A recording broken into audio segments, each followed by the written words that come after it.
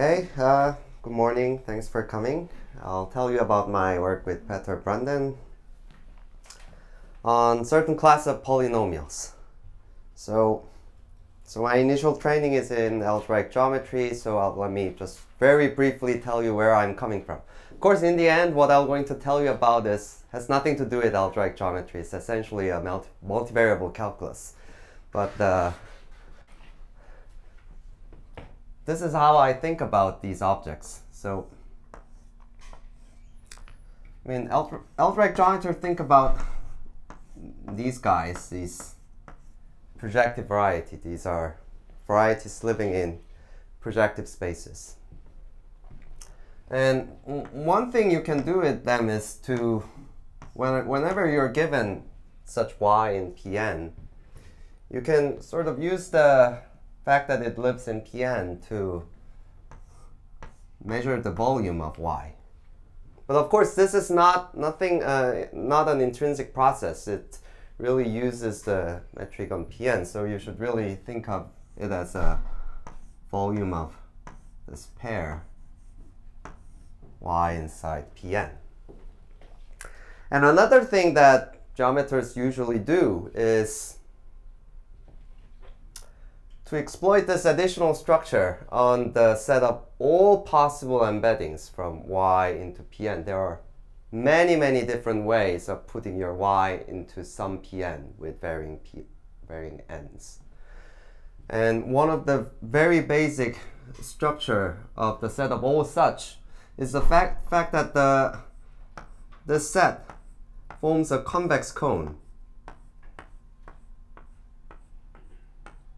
So this is what we call the ample cone of y. And the basic observation is that you can formally add two projective embeddings and get another projective embedding. This is just another way of saying the fact that the product of two projective spaces can be embedded in a pro projective space in a standard way. And we are formalizing that structure to collect all such embeddings to form an ample cone of y. But if you look at the set of all such embeddings in this pictorial way, then the Hodge theory of y, this abstract variety y, tells you that this quantity as a function on the ample cone is actually a very special function. So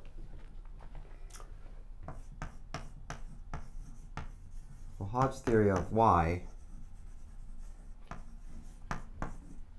says that, among other things,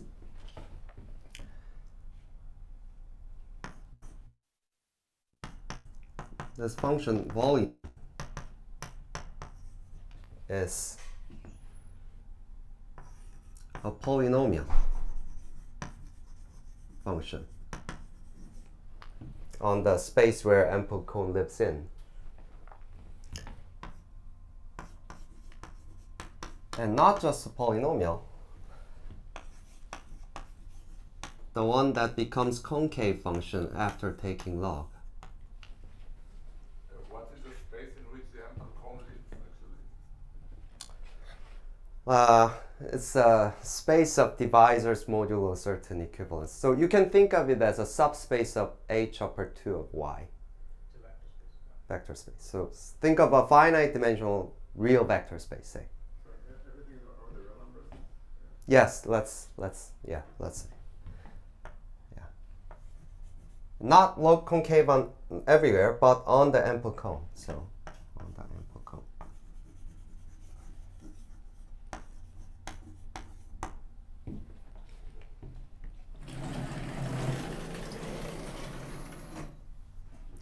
To be really technically correct and consistent with what I'm going to tell you is that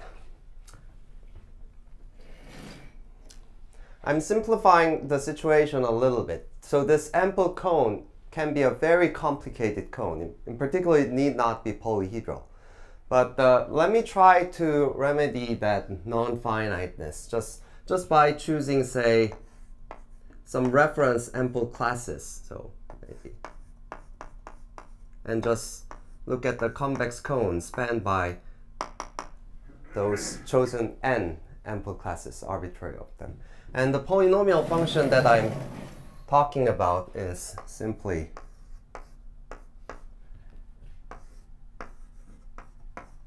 this function.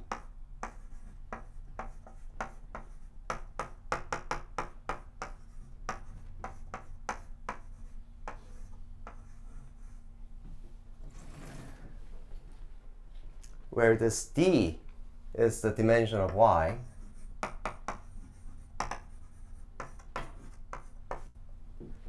and the symbols w stands for my variables of the polynomial.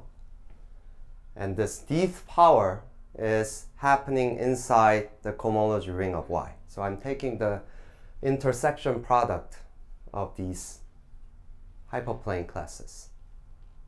And then I get a number depending on the given w's.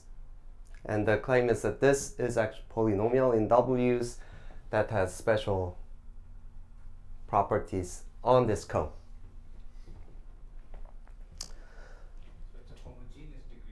That's right. It is homogeneous of degree d in n variables where n can be any number. So, So the H's are just uh, particular embeddings. That's right. think of particular, possibly different embeddings of y. So how do you interpret them as coefficients of a polynomial eventually? I mean, this you, you That's right. So these are just uh, abstract classes, say a cohomology class. But I can multiply cohomology classes. But and if I multiply them right number of times, in the end I'll get a number. So given w, this is a number. So-called the self-intersection number of this. Yeah. So is there a simple example where you can, we can see this, or, I mean, this is, Uh, see what? Uh, y- yeah, there are there are many. But, uh, maybe we'll see at some point. Yes. Oh, I- I'm just trying to tell you where I'm coming from. But uh, okay, that's what it is. But uh, the next question that is completely natural to geometers is to take the limit. So a large part of modern geometry is devoted to the study of such embeddings, well, depending on one of these h's, and see what happens if h approaches the boundary of this ample cone, where it will no longer be ample. Then usually what happens is that it still defines a map to some projective space that is no longer embedding and a large number of very interesting possibilities can happen. This is the like a very basic formulation of the modern birational geometry. So what I am interested in is what happens to this polynomial if I drag each one of these hi's to the boundary of the ample cone. And what kind of polynomials do I get? So that was my initial motivation. So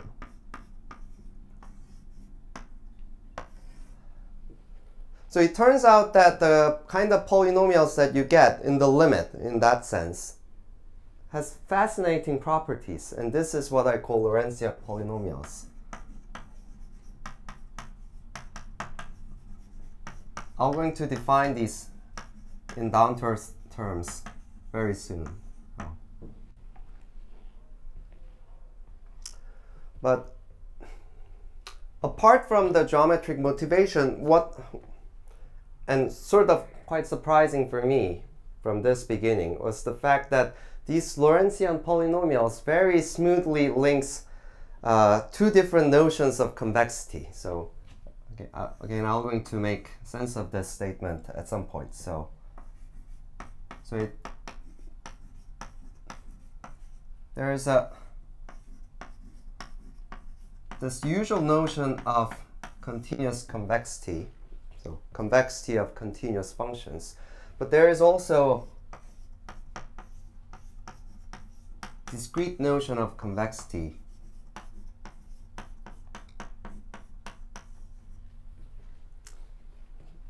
that algorithmic people were interested in for various reasons. And the, this theory of Lorentzian polynomial sort of interpolates between this theory and that theory. So roughly, uh, the connection that I'm talking about is this. So, I mean, we all love polynomials, and the polynomials are special kind of functions. But it can be viewed as a function in two different ways. So one is the usual way, and it belongs to this world. So say if you have a polynomial in n variables, then of course it's a, it's a function. You can think of it as a function from say Rn to R. You just evaluate the variables.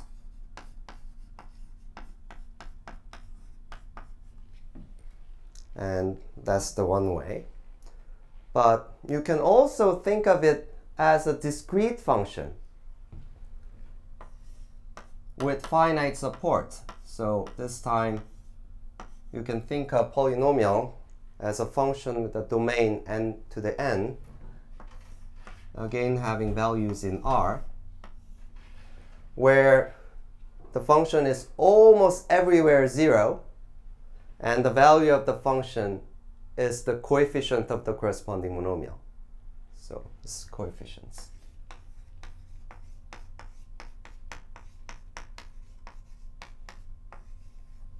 where I'm identifying the domain with the set of all monomials in n variables. And anybody who loves polynomial have wondered, right, how is this function related to this function? At least the convex analytic point of view, there is a very pretty connection that I'm going to explain. So. let me introduce set up some basic notation. So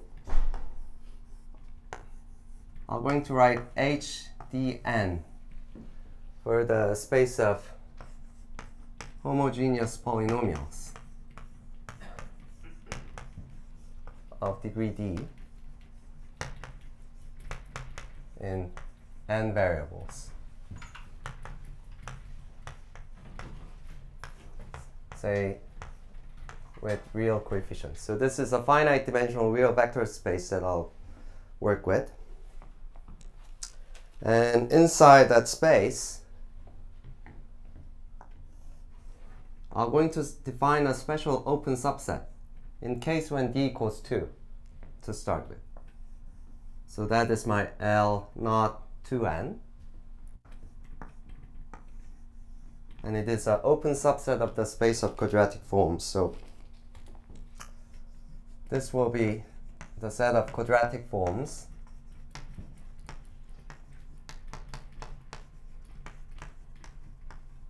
with positive coefficients.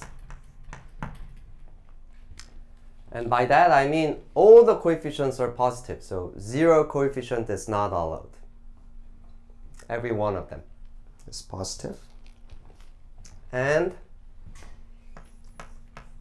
I want these to have a particular signature that I call Lorentzian.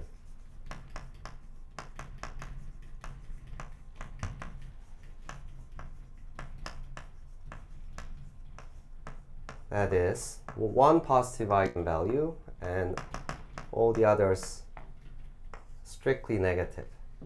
So in particular, I want the quadratic forms to be non-singular. So this description makes it clear why this is an open subset and this lives inside, of course, H2n.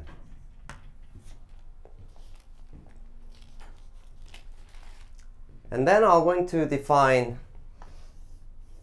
L naught of dn for d larger than 2. This will be a subset of HDN with a property that the ith partial derivative of f belongs to L naught d minus 1 n for all i.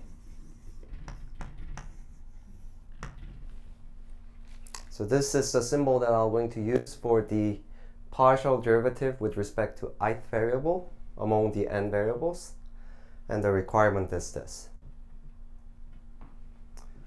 I mean, you can think of this as a recursive definition, but it, it is really not. I mean, it's a very simple condition. So how do you check that your f is in here?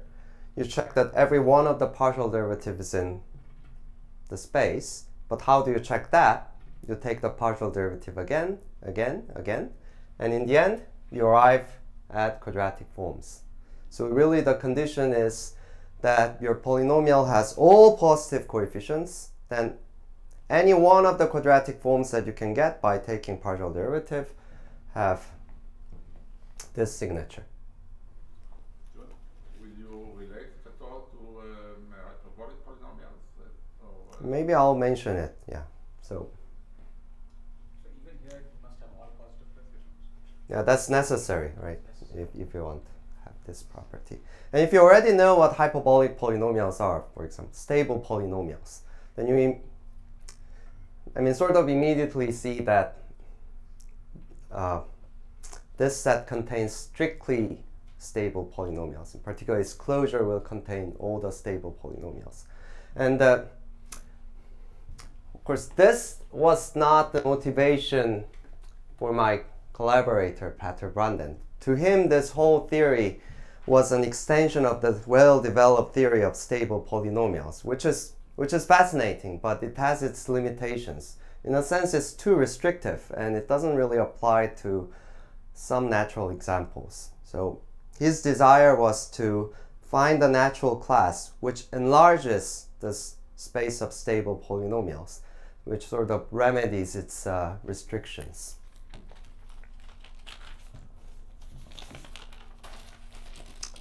Okay.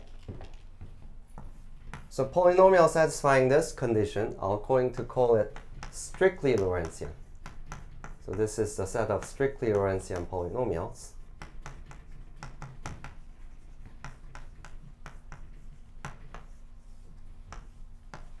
And clearly it's an open subset of HDN.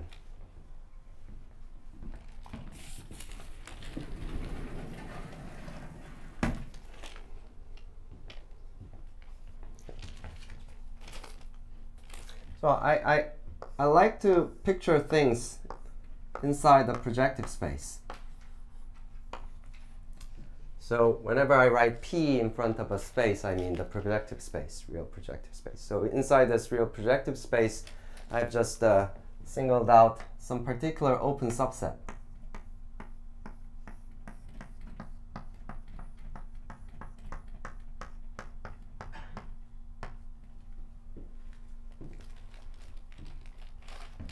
That maybe I'll going to write this set by P about L naught dn. I have drawn it in a curvy way just to emphasize the fact that this L is not in any sense convex. And that's where the most interesting structure comes in. So if you think of this as sort of a convex analysis, the, maybe the basic feature that you would expect is the if you add two convex functions, you get convex function. Well, that is generally true here. It is no longer true here. And essentially by the same reason, it's no longer true here. So you get you can you cannot just add two arbitrary Lorentzian polynomials to get another Lorentzian polynomials. But sometimes you can, just like stable polynomials. And and essentially this is a combinatorial condition that, that has many different fascinating descriptions. So and then what I'm going to do is simply let me write it here. Define the closure of L naught dn to be the space of Lorentzian polynomials.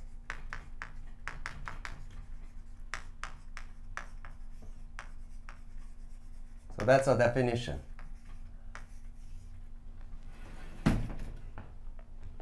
So in this picture, I'm just looking at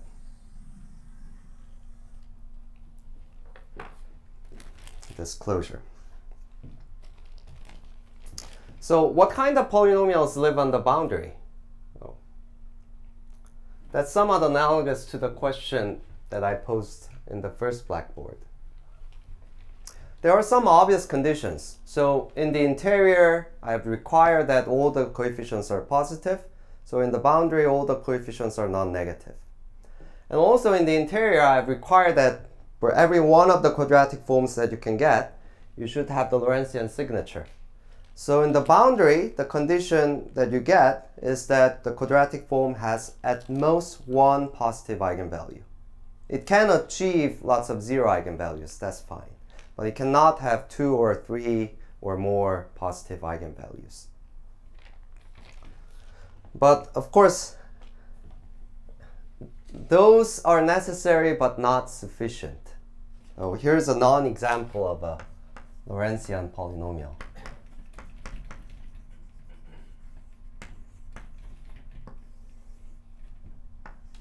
So think of, say, cubic form in two variables, like that. So it has all non-negative coefficients, and what are its partial derivatives? I mean, they are completely fine.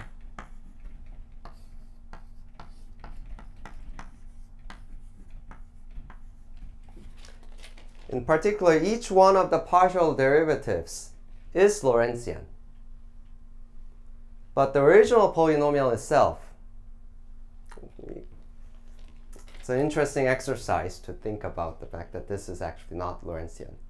So you can approximate each one of the partial derivatives, but not the original polynomial. So this guy lives somewhere far out here, which is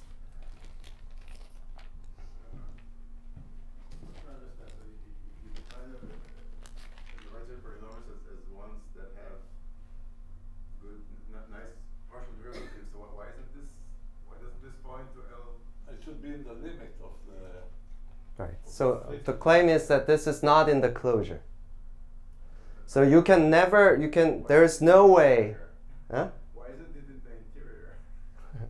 Well, it has some zero coefficients. So, ah, and the point is that you can, maybe you can add a little bit of a, like a positive multiple of, but those will ruin the signature condition. So that's the claim. So what kind of other conditions that you need to describe the boundary. So, so that's the first place, but not the last place where this discrete convex analysis comes in.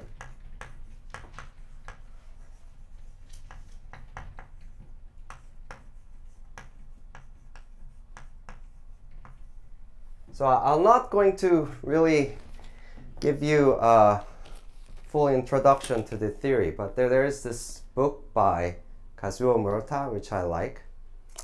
And in a sense, this whole book is devoted to the justification of the theory that I'm going to very briefly introduce is what, why that is really the proper discrete analog of the usual convexity theory.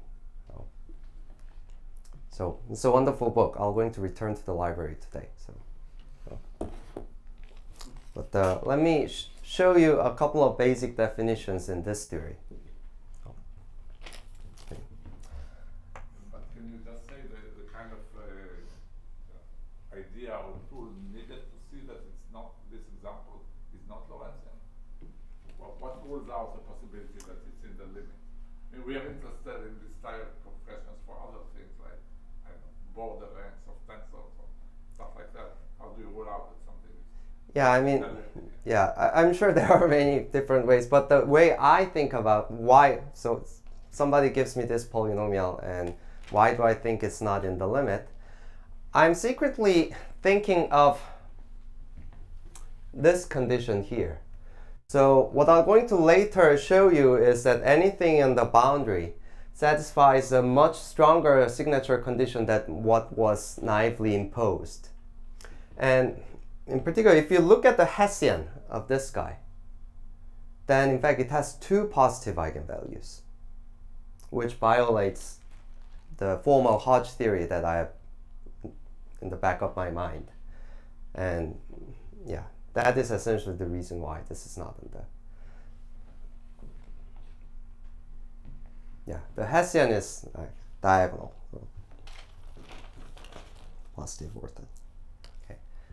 So this is a really a full-blown theory, but the most basic part of the its definition is the definition of a convex set. So suppose you have a subset of n to the n. I mean, to us, we can think of this J as a set of monomials that appear in the polynomial expression of f, but this is a general definition. So J is said to be M convex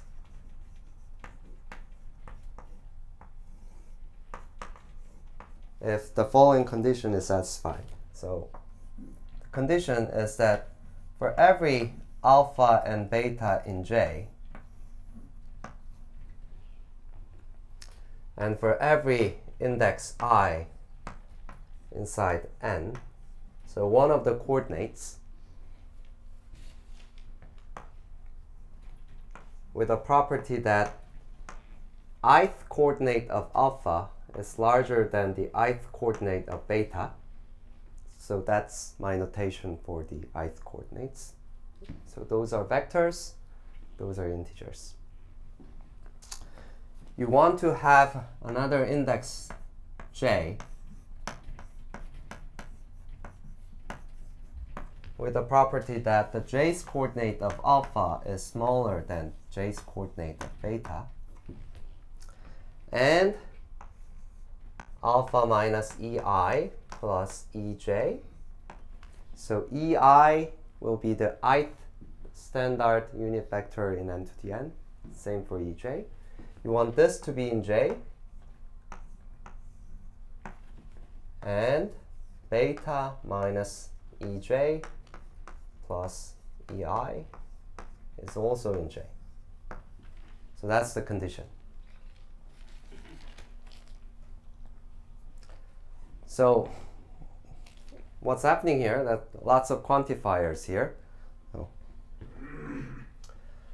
It is that if you look at the ith direction and the jth direction, and maybe your alpha is somewhere here and beta is somewhere there, so that the ith coordinate of alpha is larger than the ith coordinate of beta. And if your both alpha and beta are in J, then the condition is that if you drag alpha toward the direction of beta and drag beta to the direction of alpha, then the new pair of points should be again in your set J.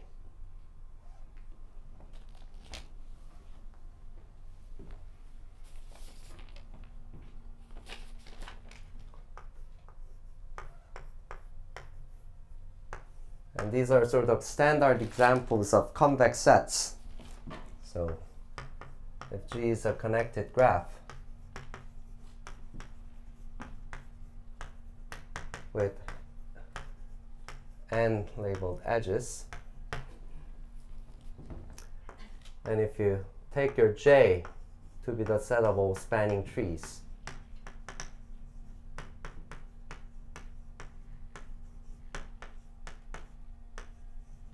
and view it as a subset of n to the n, then this is convex. Zero one vectors. So you see what I'm doing? So I have n edges, they correspond to n different directions. And if I have uh, some subset of edges, maybe a spanning tree, I add all of them together zero one vector. Collect all of them, then it, this is a convex set, meaning that it has this condition.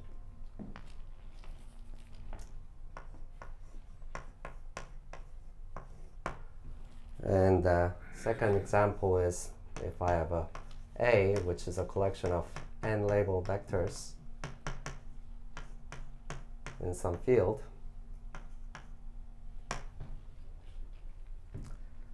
And if I collect all the bases of f to the v in A, then this is a convex set. And these are, of course, special cases of this matroid theory. So when you have a so-called matroid on n element set, and if you take J to be the basis of M, then you have a convex set. So my understanding is that this M stands for matroids. And how much more general it is than this example? So these combinatorial example only concern 0, 1 vectors.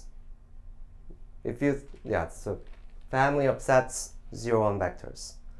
But in order to develop the, like a analytic theory, sometimes rather than using this sort of combinatorial set family point of view, just this uh, more geometric point of view is much more convenient and maybe essential. So in particular, maybe that uh, you know the uh, monomials in uh, hyperbolic polynomials are also satisfying this. Uh, Yes, yes, So yes.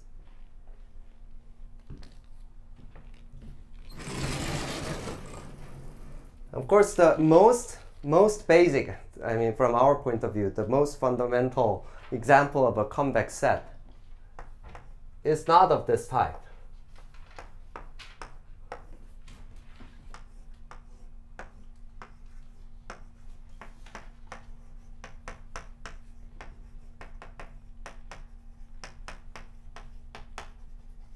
So you should think of this as the most basic example. So look at all the vectors whose coordinate sum is equal to d. This is certainly not a 0, 1 vector, but this is the most basic example of a convex set that obviously has this property. If you think of these as the possible supports of a polynomial that appears in the limit, there, there are lots of like zeros zeros here. So this is uh, this is the full support. This is the support of a homogeneous form that has all positive coefficients. And lots of holes in here. So these are all the examples that you see on the boundary. So, so you, you'll, we'll get to this point.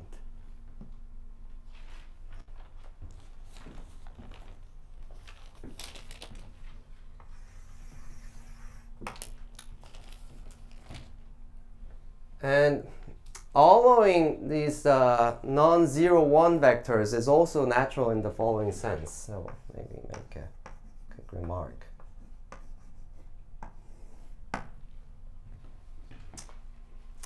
If you think this, uh, so this is a hard-earned definition, and if you never seen it before, you may think it's quite crazy, but uh, it is in a sense uh, really the correct definition. So the point is that if you, of course, any notion of convex set in the discrete setting should have the property that if you take the convex hull in the usual sense, then a convex set should be the set of all integral points in its convex hull. But the my understanding is that from algorithmic and many other purposes, this condition is not sufficient. You need a little bit more than that. And which is this property. But uh, so one implication that you can prove is that if you have this property, so-called symmetric exchange property from a matroid point of view, then you have uh, this usual convexity. Any set J which has this property must be the set of all integer points on some polyhedron. But not any polyhedron, a very special kind of polyhedron. And maybe I'll tell you what those polyhedrons are. So, so there is a, another way of uh, describing convex sets in this discrete convex analysis. So suppose you have a Boolean lattice and maybe you have uh, some integer valued function. and maybe normalized in such a way that empty set has value 0 and the entire set has finite value. And suppose this is submodular.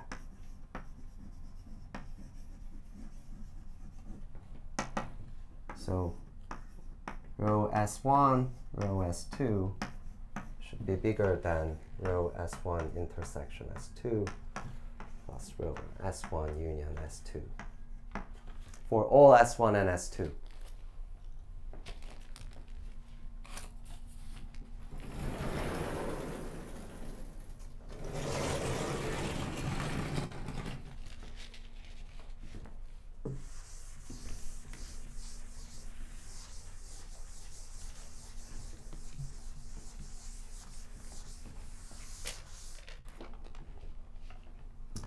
Then you can think of the so-called the base polyhedron. So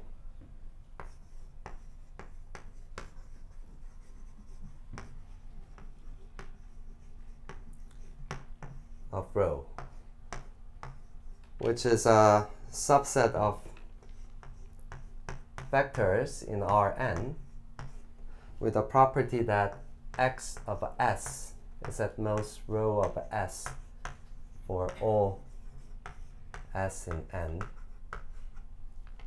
And x of n is equal to rho of n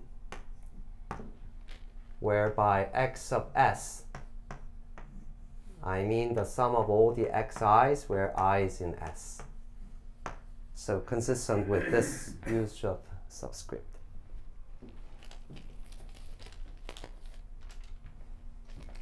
and then you can take the all the lattice points here. Oh.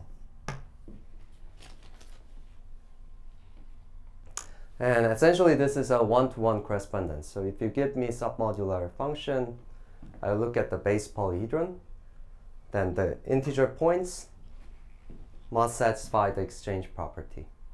Conversely, any convex set must be of this form were essentially unique submodular function rho. So, so this is uh, a, a, one geometric way of thinking about submodular functions, maybe.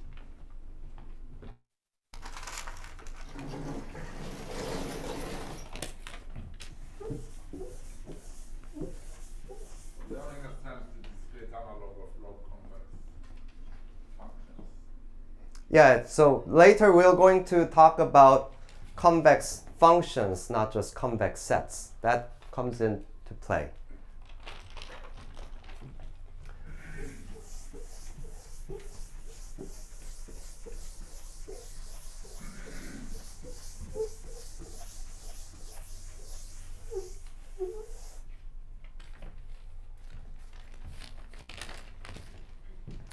So the Boolean hypercube itself is not convex, right?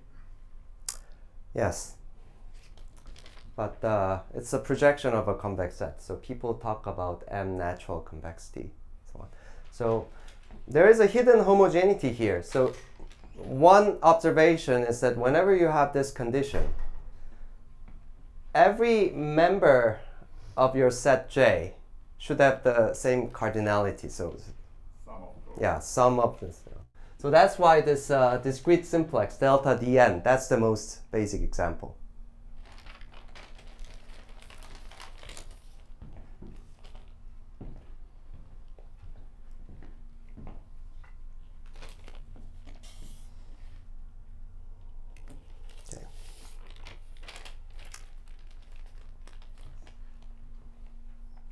So, so let me go, let me introduce another symbol, MDN. So this will be again a subset of polynomials. So this will be set of polynomials in HDN with a property that the support of F a subset of n to the n. So set of monomials that appear in the expression for f is m convex. That's my condition.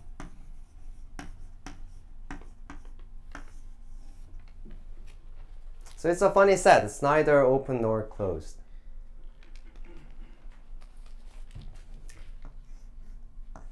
And I'm going to write L2n. So I'm again starting from the case d equals 2 as a set of quadratic forms with non-negative coefficients.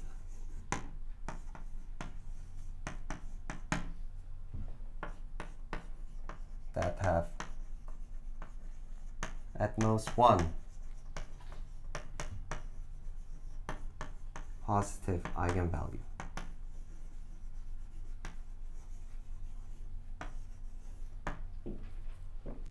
So this is a closed set because I'm imposing only closed conditions. And L a dn are going to write by the set of all polynomials in MDN. So now the support is required to be M convex with a property that the ith derivative of f is in L to the d minus 1n.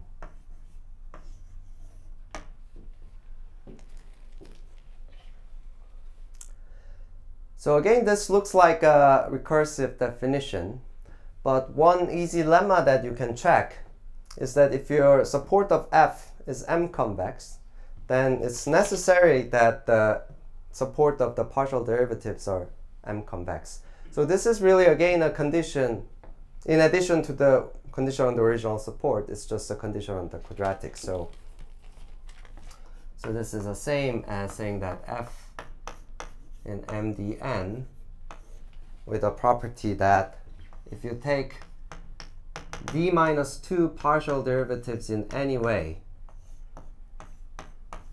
then it's in L2n.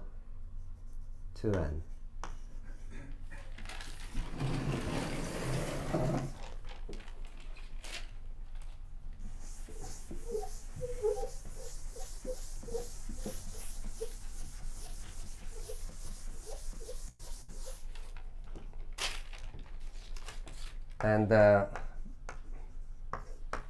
basic observation is that this is the right set. So LDN is the closure of L of dn. So LDN is the exactly the set of Lorentzian polynomials. But on the surface of it, it's not even clear why this guy is a closed set. Because the condition that was required is not necessarily. So there is a funny interaction between the signature condition and the condition on the support. So here's the picture. So P of a, if I look at this set in the projective space, or the look at the space of Lorentzian polynomials, then you can write it as a disjoint union according to the possible supports. So let me just write it like this, where Lj is the Lorentzian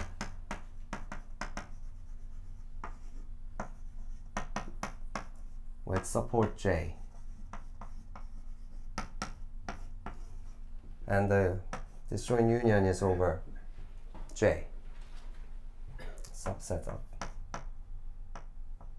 say, delta t to the n. And another statement that you can prove is that this set is compact well, because it's closed, and it's contractible.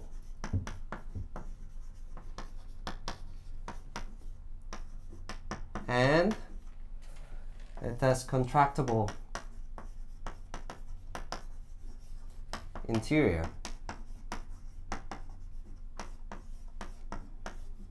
P L not the end.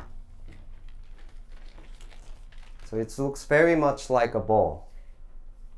It's not a, really a convex ball. So it's not example, which part of this condition fails? That's right. So where uh, so that guy is erased. No, Oh, here it is. Here it is. So so that's my set. Here's my w1 to the cube. Here's my w to the cube. Nothing here, nothing here. If I take alpha, beta, then the exchange axiom forces me to have these two guys in the support, which is not.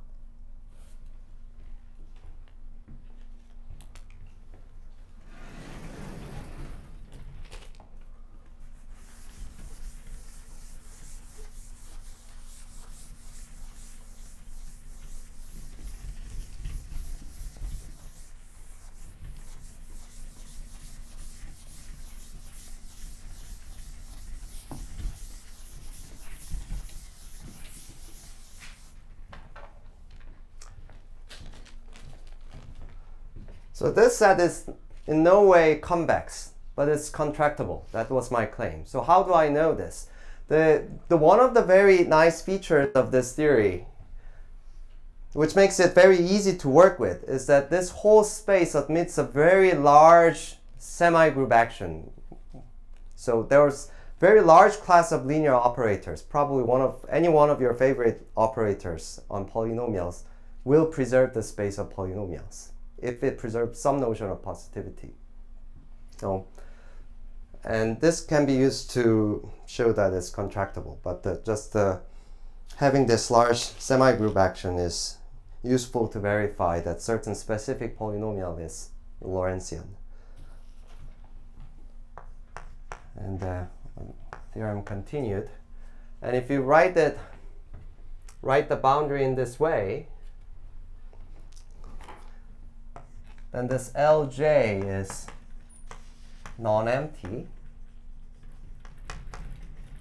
if and only if J is M convex.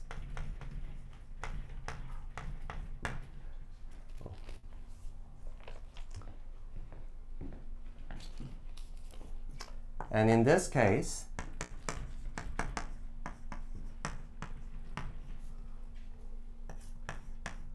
again, each one of these PLJs, little pieces,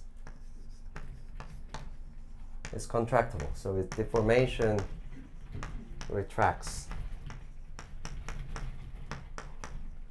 to a distinguished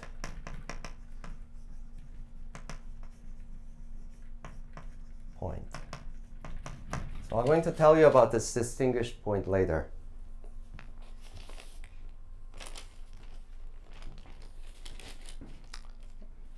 And if you're just interested in combinatorics of set systems, then you can restrict the whole theory to uh, the set of multi-affine polynomials. So I'm going to write underline whenever I'm having in mind multi-affine polynomials.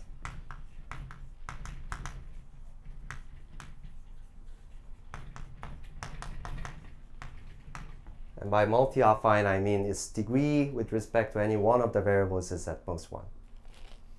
So it's a sum of scale-free monomials. And it can be Lorentzian or not Lorentzian. So this entire set lives on the boundary of the space of Lorentzian polynomials. But of course, you can write it as a disjoint union. Let me write it this way this time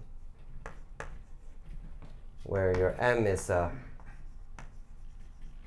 rank D matroid on N. So matroid is just another name for M convex set where it consists of 0, 1 vectors. And it has the same property. So it is compact and contractible. And there is a one piece for every single one of rank D matroid on N. Every single one of them is non-empty and contractible. Oh. So this is the this ball-like picture that I have in mind. Oh. And this is a picture that's sort of uh, surprising from an algebraic geometer. Uh, so you, you define these sets by some smooth analytic condition for the interior. And there's really not much combinatorics going on in the interior. But if you take the closure of this set, then you suddenly get a very interesting discrete structure in the limit. So what happens is that if you take the closure, then the boundary can be expressed as a disjoint union of pieces. And each piece is again like ball-like. They are contractible subsets. And each one has a distinguished point lying on it.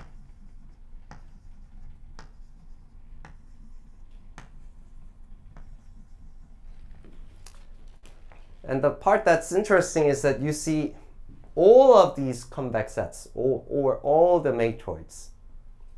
So you don't discriminate those matroids that are not realizable over certain fields or etc. So in this boundary, you see all of your like a favorite graph, maybe K4, and here you, you see all of your favorite configurations like the Fano configurations, and maybe some non-realizable ones like the Pappus,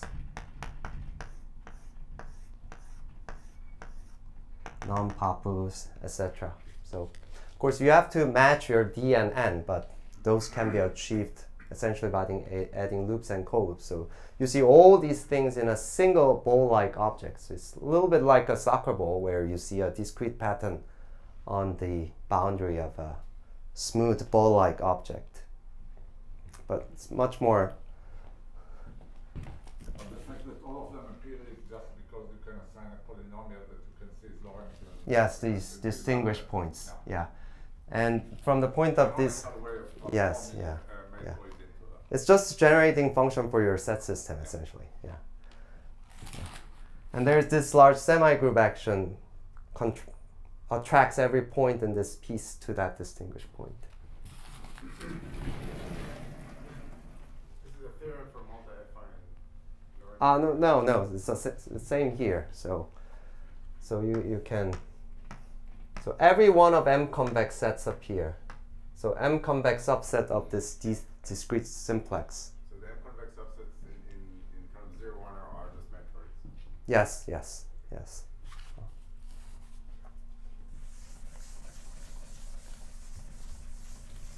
I don't at zero one, instead of zero one, we get some nice family of, uh, like matroids. I, I don't know. Yeah. yeah. Yeah.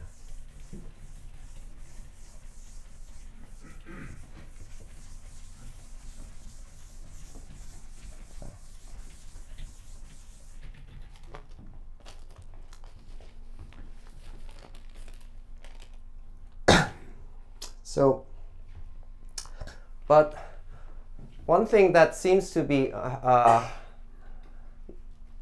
make this uh, study of Lorentzian polynomials useful is that these class of polynomials satisfy a very strong, like a spectral condition that is not apparent from the definition.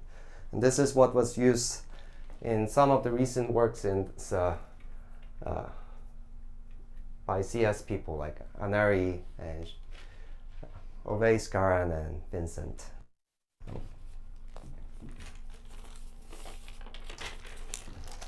So briefly put, this is what I call Hodge-Riemann relations.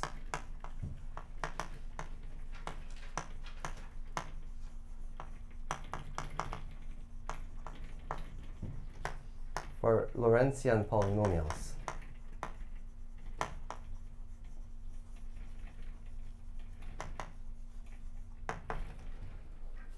And the statement is this. The Hessian of any non-zero Lorentzian polynomial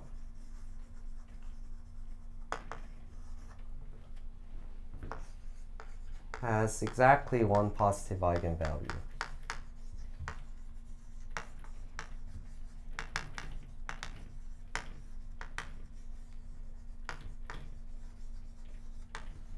On the positive orthant.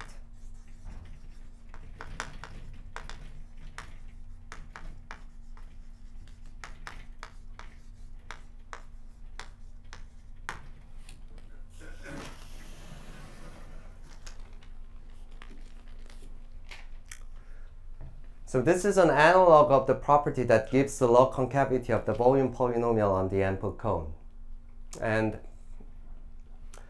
what is interesting, so, so this implication is modeled on, of course, on the situation for algebraic geometry. And the basic intuition shared by almost all the people who work on the cohomology of algebraic varieties is that all the interesting action happens in exact middle of your cohomology. So if you're interested in what's happening in the, say, for hyperplane sections of a cohomology of algebraic variety, then it means that no matter what your dimension of the variety is, you're really looking at the case of surfaces because that is the case when the divisors become middle cohomology classes. So that's analogous to what's happening here. Oh. So this 2 here tells me that I'm really looking at, formally speaking, surfaces, algebraic surfaces. And this Lorentzian signature condition is what algebraic geometers call Hodge index theorem.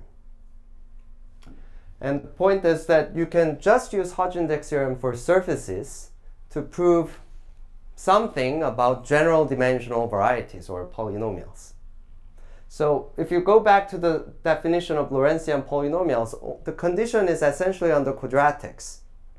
But you can just use them to prove something about the signature of the Hessian on any point on the positive orthant. And combinatorial people are mostly interested in the signature at the point 1, 1, 1, 1, 1, 1, 1, which is far from the boundary. So it should have exactly one positive eigenvalue. So the statement is really about the second largest eigenvalue, which should be non-positive. And you can use this to show that Lorentzian polynomials can be defined in different ways and in fact agrees with one of the classes of polynomials that was already introduced by Gurvits, say. Gurvits says if you have a polynomial with non-negative coefficients in the n variables,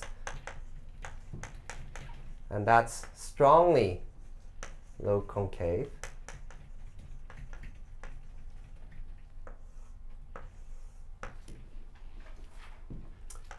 If for every alpha in n to the n, the alpha's partial derivative is either identically zero or if not, the log of that thing is concave on the positive orthant. I hope it's clear what I mean by alpha's partial derivative. So alpha is a vector with alpha 1, comma alpha 2, dot, dot, dot. I'm taking the First partial derivative alpha 1 times, second partial derivative alpha 2 times, etc. And there's even stronger condition introduced by Anari et al.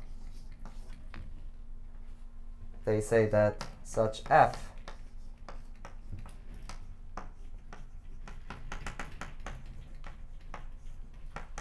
is completely log concave.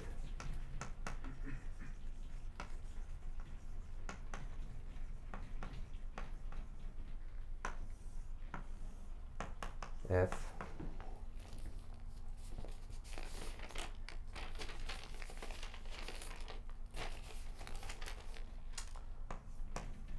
for OM and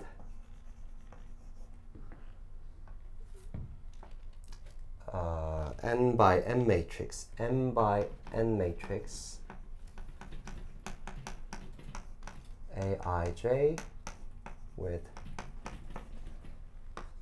non-negative entries.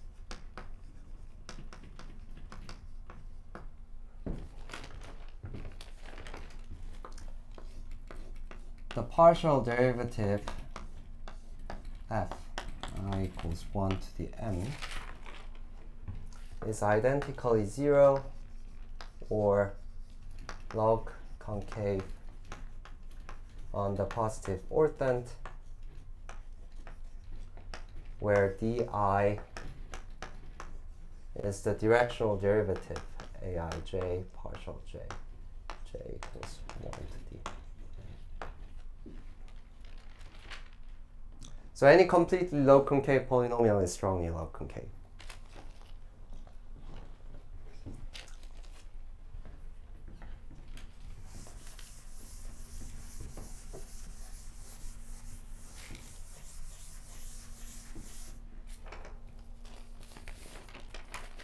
And the theorem is that these are all the same.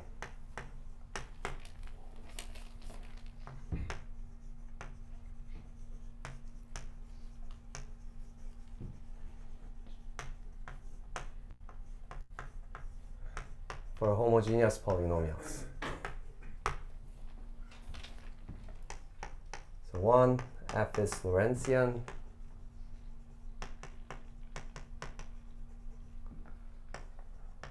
two, f is completely log concave.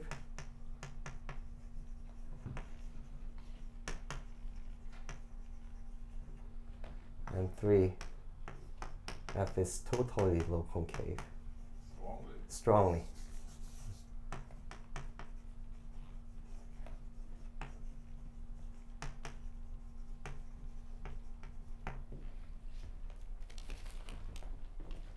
Point is that this, in, in, in concrete situations, it's actually pretty tricky to prove that your polynomial belongs to these classes. It's usually extremely easy to check the condition 1.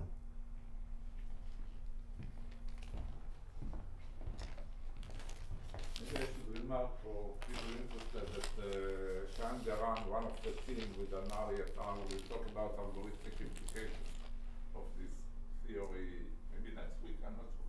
Very soon. Yeah. Will be there. And if you use this description, some properties of these classes that's not so obvious is actually very easy to prove. For example, Gervitsev asked whether the product of two strongly log concave polynomial is strongly log concave. Well, sounds like a calculus question, but it's in fact rather tricky to prove.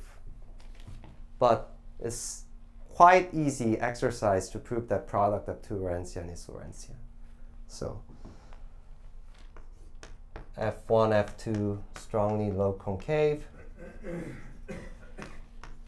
Implies F1 times F2 strongly log concave, say for homogeneous polynomials F1 and F2. So if you are in combinatorics, in the say univariate case, this is essentially the statement that if you have two ultra-log concave sequence, then the convolution product is again ultra-log concave. I mean, even this case was not so easy. This was used to be a conjecture of Pemantle and proved by Liggett. Uh, it's a particular case of this in when there's essentially one variable to consider.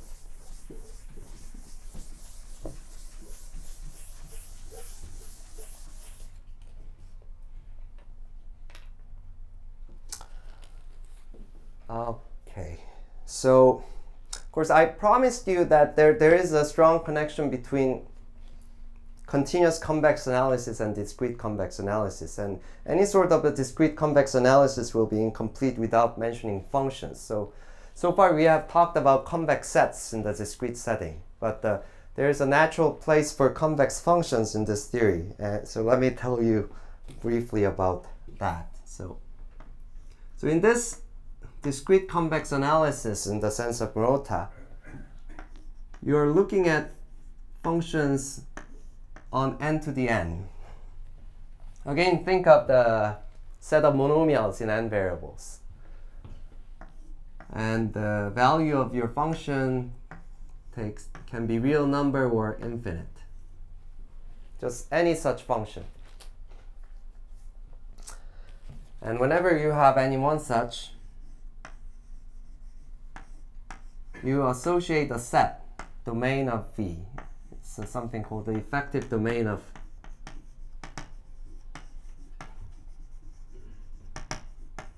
of mu. And it's the set of all alphas where your function is finite.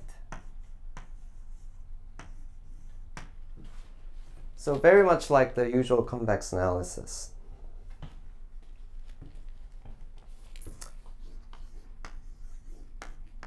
And you say that such function is m convex.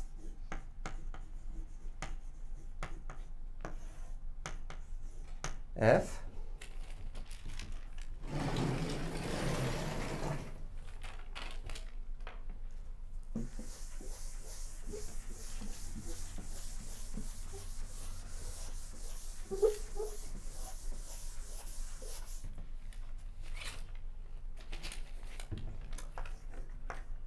for every alpha and beta in the effective domain of nu,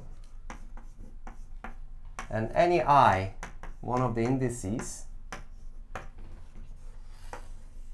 where ith coordinate of alpha is larger than the ith coordinate of beta, so same starting line as the M convex set.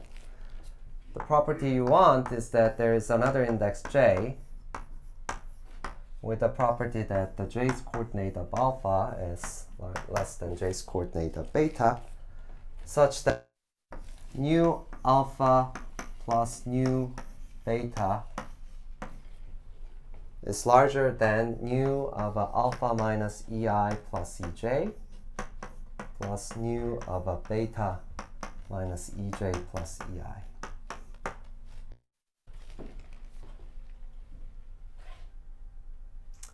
So one thing that you see from here is that the effective domain of any m convex function must be m convex. If that's finite, finite, then these two should be finite.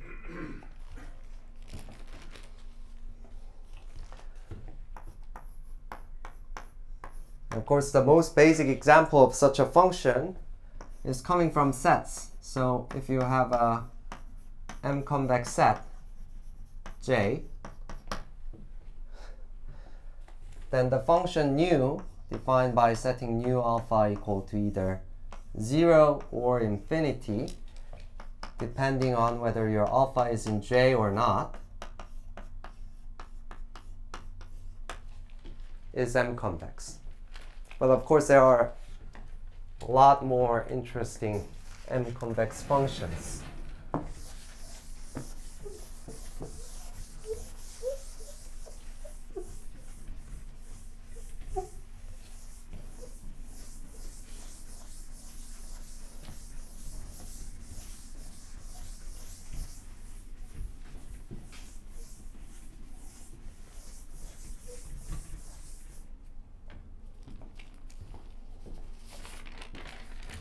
And to me, uh, the canonical example that I always have in mind is the so-called tropical linear spaces.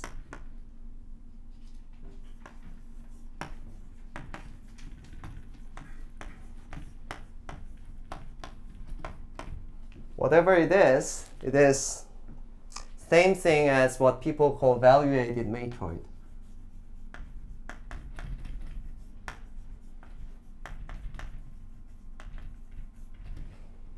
And to be really precise, in this language, valuated matroid is the same thing as M concave function, not convex.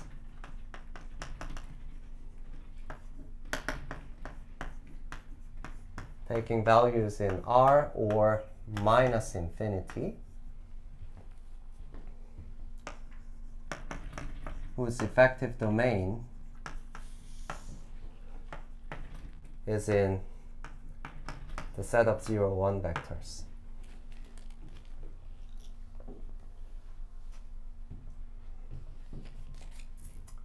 And the theorem is that the following conditions are equivalent for any any function nu on n to the n.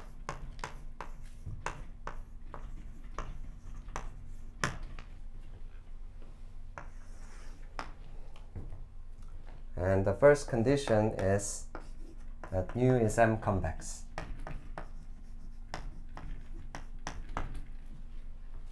And I'm going to tell you some other conditions in terms of Lorentzian polynomials.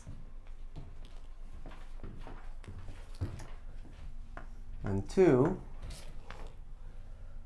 the polynomial constructed from nu that has an extra parameter, real parameter, q, in n variables w, so w stands for w1, w2, dot, dot, dot,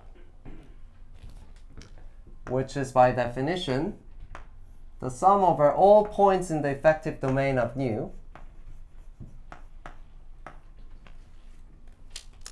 and the coefficient corresponding to alpha is q to the nu alpha. And you have alpha factorial and w to the alpha.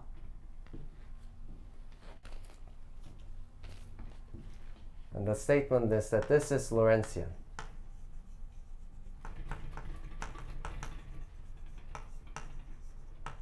For all positive q at most 1.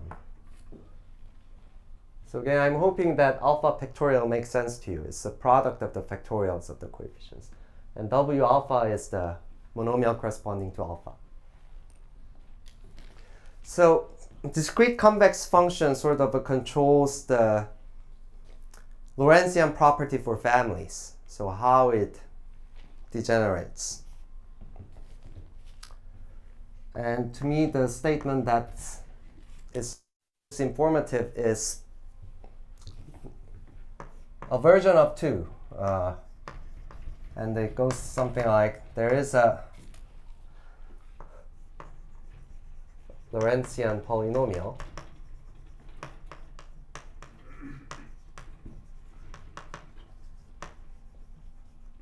over k.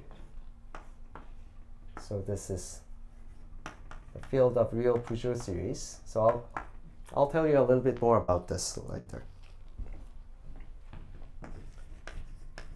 Whose tropicalization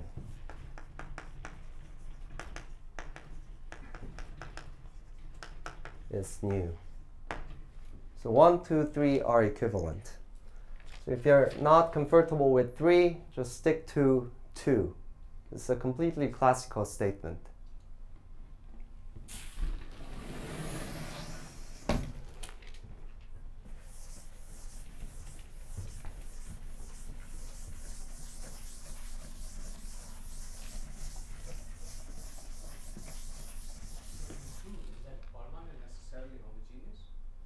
Yes.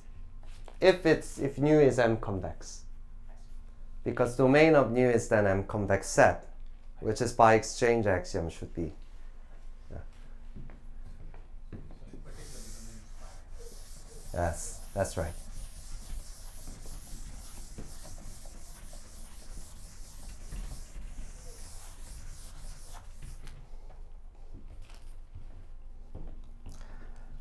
Okay, so this, this equivalence is a powerful statement. So just think of a very special m-convex functions, which is of this form, just m-convex sets.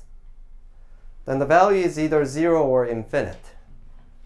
So the polynomial in question has nothing to do with q, because anything to the zeroth power is 1. So in that case, the polynomial in question is simply the sum over all the points in the domain. In, if your domain is just a 0, 1 set, it's just a generating function or partition function for your m-convex set system. So, so the corollary is that J is m-convex if and only if its generating function, so normalized by alpha factorial, which is 1 anyway if you're looking at set system, is Lorentzian.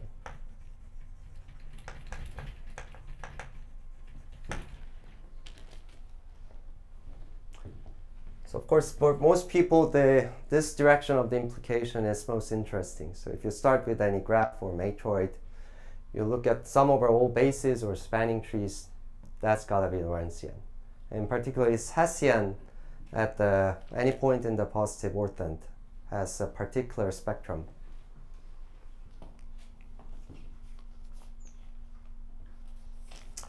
And again, there, there's another sort of a statement that you can extract out of this that has nothing to do with Q, for example. So, so you can use this to show that if you have any polynomial, let's just write it in this normalized fashion. So alpha is in the support of f. And just let me just refer to this C alpha as the normalized coefficient of f. And you see that this is Lorentzian.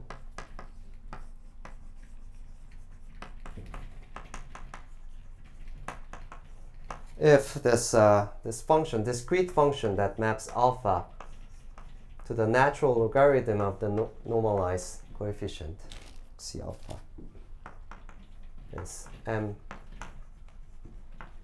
concave. So here I'm just using the one implication from 1 to 2.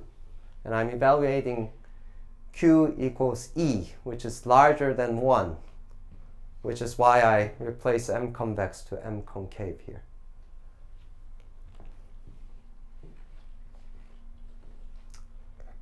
So of course, uh, the, the other implication really fails. So to get the other implication, you need the whole family, and especially the behavior near q equals 0.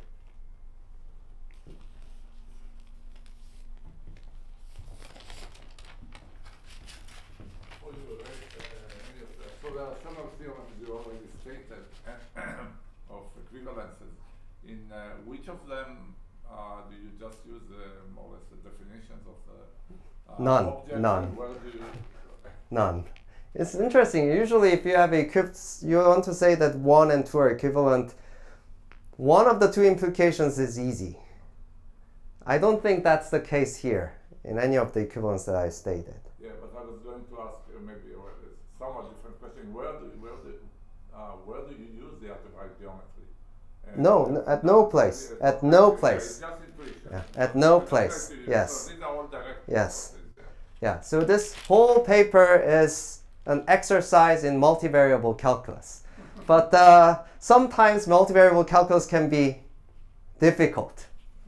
And when it becomes difficult, what I do is I think of this again, this hypothetical situation where I have a projective variety and ample cone, and, and then people ask me in that setting, what would I do? And, and, and then this uh, somehow it suggests some multivariable calculus techniques and it always works. That that's just the amazing experience that i had while carrying out this. So i mean i think that's that's a part of like what we what we keep as a community. So sometimes there's a there's no theorem or anything but there are some unwritten like a set of experiences shared among certain group of mathematicians and and, and in particular, I'm having in mind this uh, work of uh, Cataldo Migliorini on this uh, this uh, Hodge theory, how to prove this uh, all the basic theorems of Hodge theories by building up from the scratch. And I, uh, if I rely on that intuition, there's it always tells us what multivariable calculus trick you need to perform, and that works. Yeah. And in terms of, uh, it's an algorithmic question, but uh, recognizing Lorentzian polynomial when it's given to you, let's say as a formula, or optimizing over Lorentzian polynomials some, uh, in certain yeah, region of real space. Is there any, um, you know, any, any corollaries of this nature that follow from these uh, characterizations? I think Shayan will tell us. Yeah, yeah, yeah, in the following uh, week. Some, Yes. Yes, it, there's no. Uh, Yeah. Uh, yes, yeah.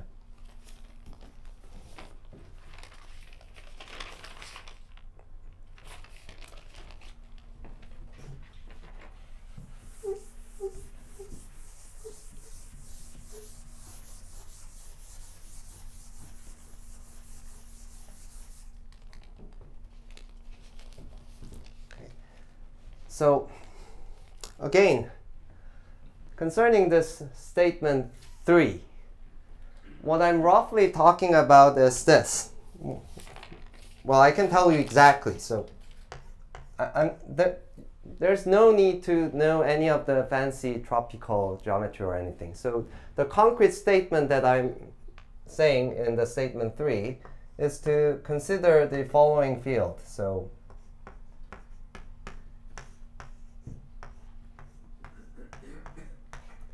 this is a field of so each one of this individual field is a field of Laurent series in the variable t to the 1 over k. So that has, let's say, some positive radius convergence around 0. And you look at the union of all these things. So any element st is of the form c1 to the ta1 c2 to the ta2 dot dot dot and it converges somewhere near zero where each ci is a non-zero real number and a i is an increasing sequence of rational numbers.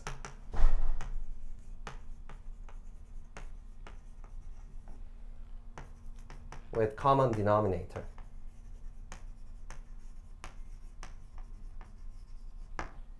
So those are generic elements of this K. And you say that an element in K is positive if C1 is positive. So this guy is called the leading coefficient of S, and A1 is called the leading exponent of F. And the assertion that's made here is that the Lorentzian behavior only depends on the leading exponent of the coefficients. So formally speaking, leading coefficient, leading exponent, and the process of tropicalization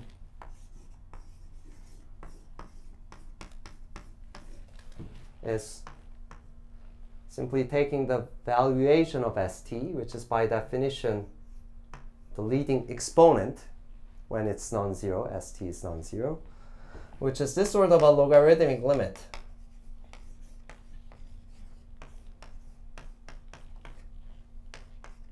Where t approaches zero from the positive side. So fancy people call this Maslov dequantization. So it's, but it is up very nicely. So this is a process somehow that smoothly deforms this uh, addition operation to multiplication and the, there's a like a max operation which replaces the addition. And the tropicalization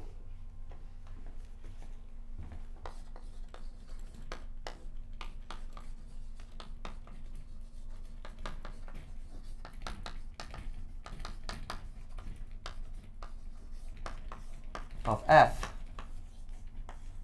with coefficients in k.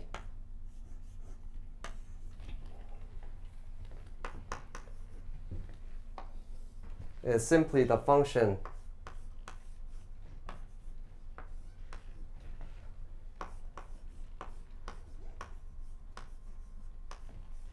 which maps alpha to the valuation or leading exponent of the coefficient. So that's the statement three. What's nice is that this field k is real closed field. So for all purposes, it's like the real number. So anything that you can prove over the real numbers is going to probably true over k when it's expressible in first order sentence. So for example, a statement like f is Lorentzian if and only if it's strongly log concave, if and only if it's completely log concave. This is in fact the first order sentence in the language of real field. So it's also true. The equivalence is also true in K.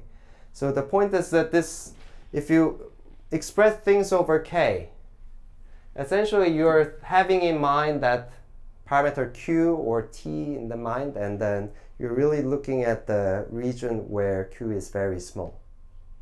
And then you can honestly think about the function which is obtained by evaluating that Q on that small radius of convergence. And the statement is that such and such functions are log concave on positive orthant and so on.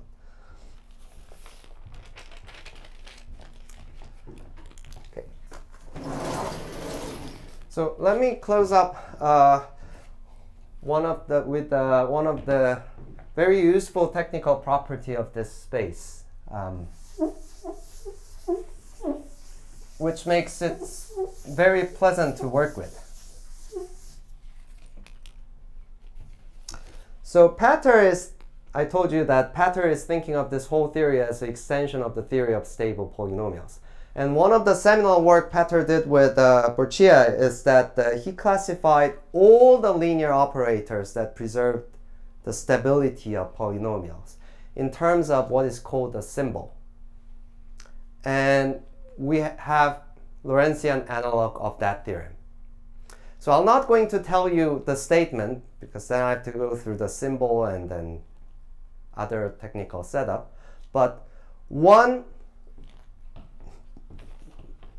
very useful consequence of our Lorentzian analog of this characterization of stability preservers is the following. So okay, before giving you the statement, I'll tell you the argument.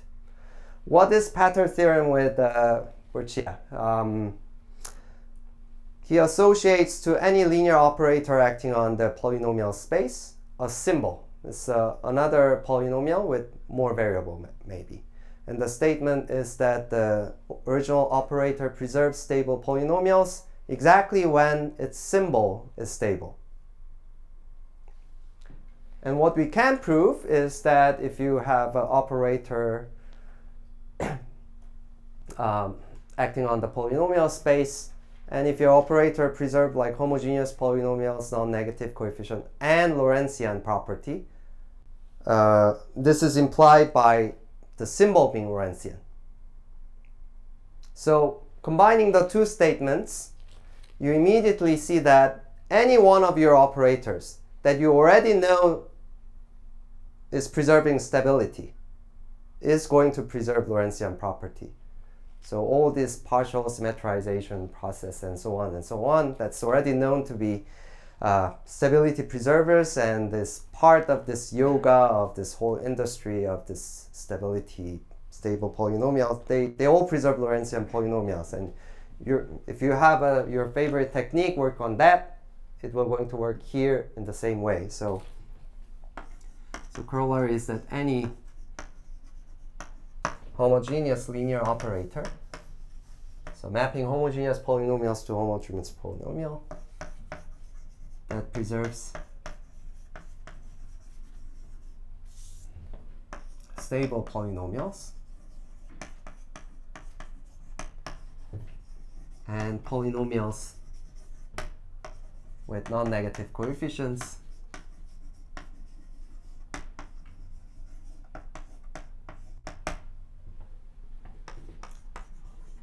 preserves Lorentzian polynomials.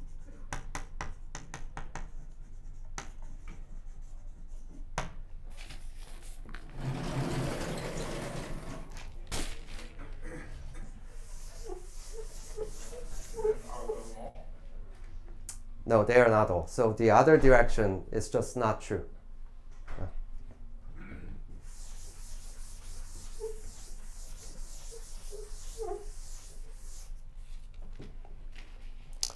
So here's the picture that we have described so far. So I've, uh, I've started with this open set of strictly Lorentzian polynomials. And I have told you that some very interesting discrete structure appears on the boundary. this is like my favorite ball-like object that's contractible with contractible interior. And this is uh, another one of examples of the phenomenon that in the limit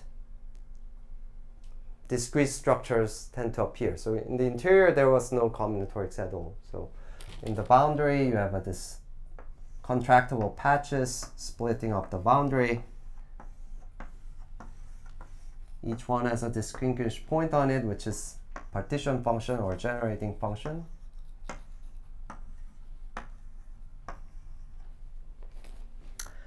And maybe next week I'm going to tell you about some specific members, like a partition function appearing in statistical physics. And tell you some consequence of them being Lorentzian. So there's a large chunk of this space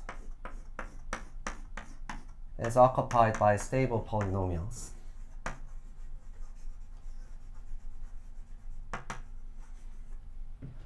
An even larger chunk is occupied by volume polynomials. Uh, say of say of convex bodies.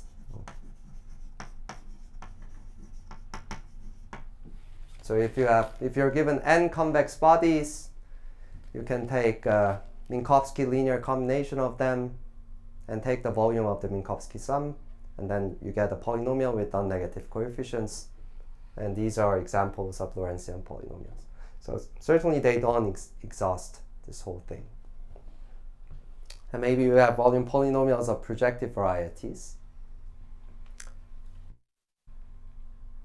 So I don't think there's any, yeah, not much algebraic geometry in the audience, but uh, if you apply this theory to the case of original case of volume polynomials of projective varieties, you get some interesting geometric fact, which is the support of your volume polynomial of projective variety must be M-convex in the sense of discrete analysis. It's a completely geometric statement, that I don't think it's people have people are aware of this. Uh, but uh, you get lots of these points and so on, and there are lots of uh, specific members of this, like uh, so the or Potts model partition functions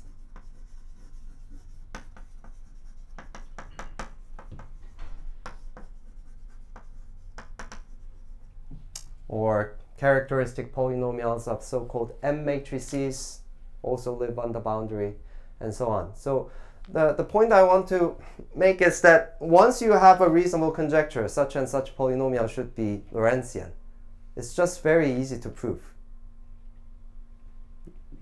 Well, you have to compute the signature of one matrix at some point, but usually most of the part is taken care of by induction because the partial derivative of your polynomial is hopefully a polynomial of the same kind. So there is usually just a one computation you need to perform. And I suspect there are lots and lots more interesting members. And most of them will live on the boundary. It's a little bit like Australia. So most of the population is will be here. So. And concerning the equivalent 3, for example, if you look at the space of multi-affine Lorentzian polynomials over this Puiseux series field K, then you can tropicalize the whole picture, this whole set. And then it becomes a very familiar object to tropical geometers. and it becomes what is called the Dressian.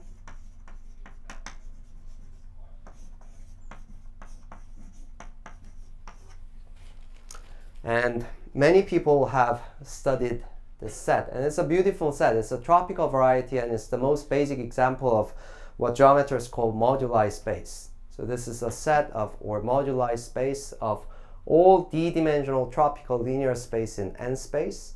And it's a polyhedral fan. for example, if you look at the case d equals 2 and n equals 5, this fan is essentially the Petersen graph. Oh.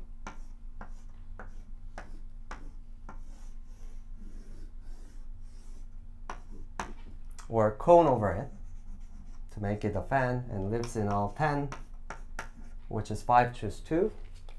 And it has some linearity space, so it's a two-dimensional fan or a cone over a graph plus a four-dimensional linearity space.